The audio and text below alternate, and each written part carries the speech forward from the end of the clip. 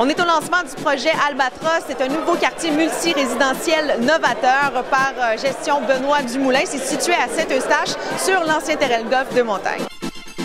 Parlez-moi un peu du projet Albatros. C'est quoi comme genre de projet? C'est un projet euh, unifamilial euh, qui s'adresse à, la famille, euh, aux gens retraités, semi-retraités. On fait du townhouse, maison de ville, avec du condo aussi pour des 3,5, 4,5, 5,5. Aussi d'unifamilial, 2, 3 chambres à coucher jusqu'à 4 chambres à coucher.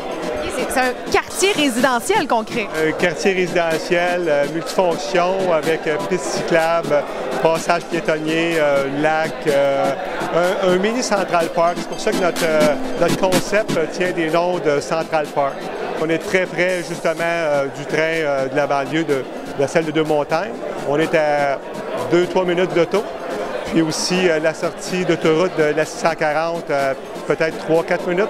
La sortie d'autoroute et de tous les services du centre-ville de Saint-Eustache.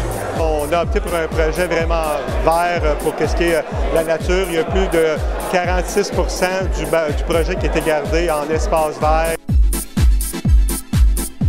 Monsieur Charon, qu'est-ce que ça représente pour vous, pour Saint-Eustache, un projet comme celui-ci?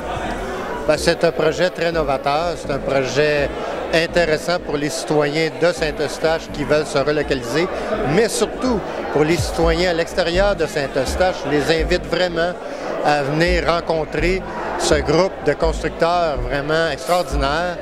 Euh, ce sont des gens professionnels qui ont le souci de la qualité, du service après-vente. Je pense qu'ils vont être en mesure d'offrir différentes unités d'habitation qui peuvent convenir à bien des gens. Dans le projet Albatros, euh, il y a trois typologies. Il y a des condos, euh, des immeubles à condos, des euh, quatre étages, répartis sur quatre étages, des immeubles de 16 unités d'habitation. il y a aussi des maisons de ville. Maisons de ville qui sont fait partie d'une bonne, bonne portion du projet d'Albatros et qui est complétée avec aussi des résidences unifamiliales L'intérieur, on va le laisser euh, aux soins des, euh, évidemment des acheteurs, mais euh, ça dicte une, c'est une architecture contemporaine, beaucoup de lumière, beaucoup de fenestration, des, grands balcons dans le cas des, des condos. Je pense que c'est un projet qui va nous distinguer dans la région des Basses-Laurentides.